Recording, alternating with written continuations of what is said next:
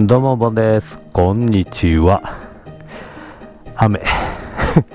バイクに乗れない日々が続いておりますよ、ということで、今回ですね、じゃんと、グリップですね、えー、プチカスタムということで交換していきたいと思います。で、今回買ったのが、デイトナのプログリップ、振動吸収ゲル構造ってやつですね。まあ、振動吸収してくれて、まあ、あーしびれとかね、軽減させてくれるグリップの方になります。で、今回これつけていくんですけども、まあ、実際ね、こう純正のグリップなんですけども、まあ硬いんですよね。硬い。で、細い。で、実際4000回転から8000回転、まあよく使う回転数になるんですけど、まあそこら辺で振動がね、結構来るんですよね。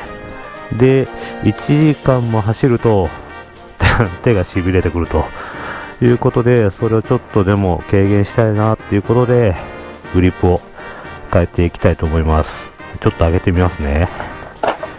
よいしょ。よいしょ。おブヨンブヨンって感じだね。おっとっとっと。よいしょ。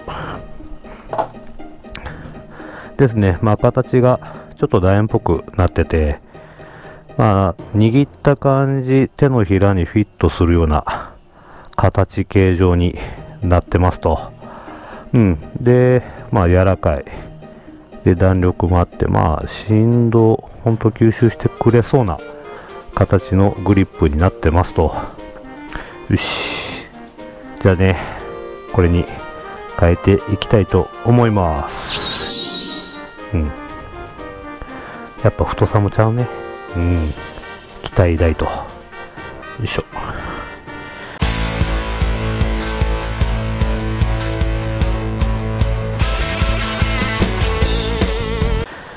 では、まず、ちょっと落ちるな。うん、グリップですね、外すんですけど、その前にこのバーエンドなんですけど、これがね、普通に六角で緩めようとすると、友回りしちゃうんで、よいしょ、こいつを固定しないといけないと。よいしょ。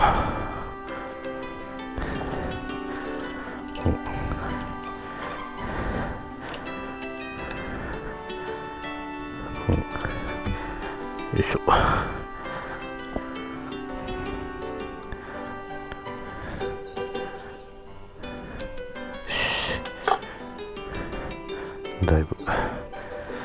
きましたねと。よいしょ。次がこいつなんですけど、まあ、硬いですよね。もうこれ切っちゃいます。うん。切る方が早い。どうせ捨てるからね。うん。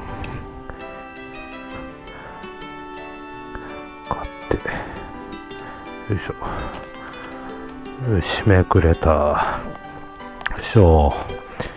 結構接着剤ついてましたね。これ、ちょっと削って、うん。で、接着剤残ってるんで、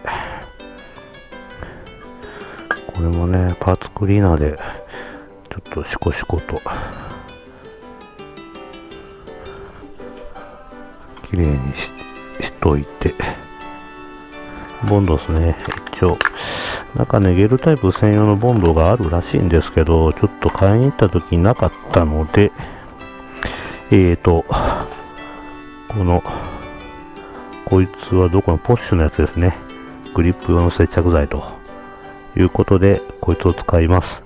で、あとグリップなんですけど、取り付けの注意点として、穴の径が太い方、こいつがアクセル側ですね。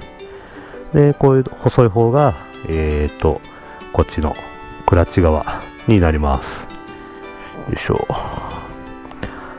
なんだけど、うんうん。あ結構すんなり入りそうだな。よし。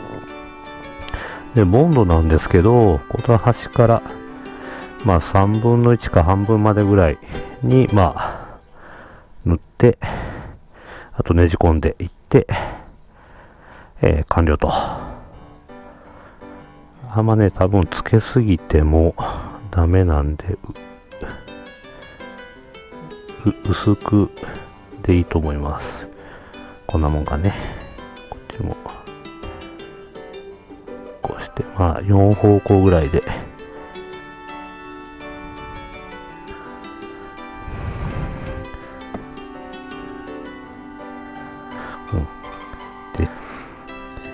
で、いきますと。う、ぐりぐり。ぐりぐり。よいしょ。よいしょ。ちょっと位置合わせ。うん、これぐらいだな。ちょうどこの膨らんでるとこがここにはまる感じですね。がちょうど握りやすい。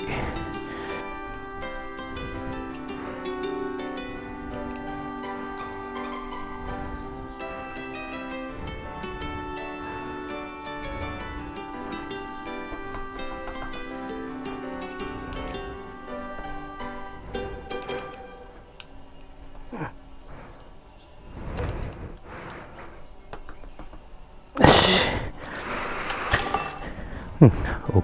ち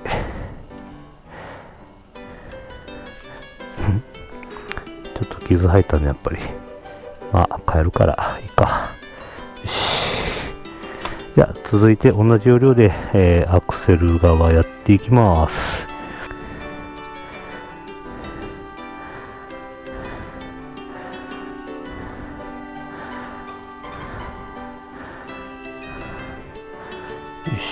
OK。で、切っちゃいますよ。ちょっと隙間空いてるのか。うん、この感覚を覚えとこ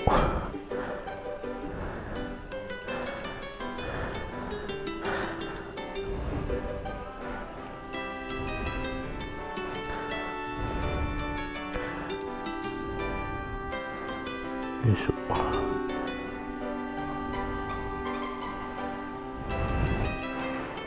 あ、なんだこれ。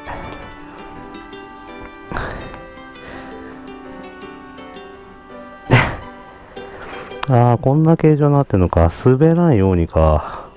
めっちゃ食い込んど。ああ、そういうこと。いい。はいはいはいはい。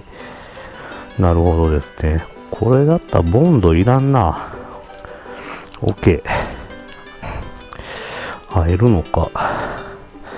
入るのか。入るのか。回しながらいったらいけるか。いけそう。いけそう。ちょっとしんどい。ちょっときついね。もうちょっとか。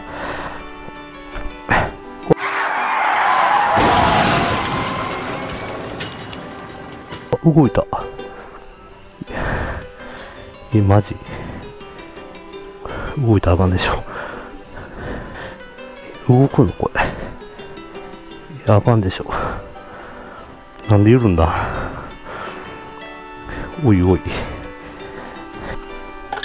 いしょ。見てみましょうと。よいしょ。